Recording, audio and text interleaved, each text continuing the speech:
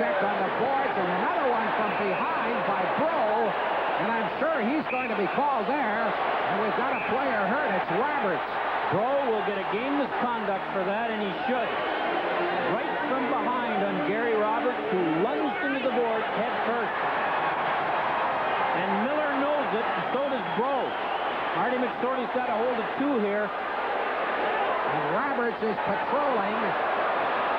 And he's, he's lobbying to referee Shick, and Rob Shick called it right away.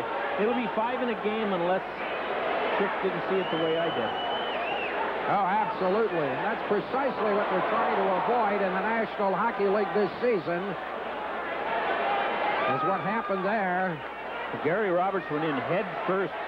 Another vote for the helmet, but that one can be tough on the neck by McIntyre. But watch this one. Right from behind. Bang. Boy, those are Oh. dangerous. The guy should get more than five in a game. Bro.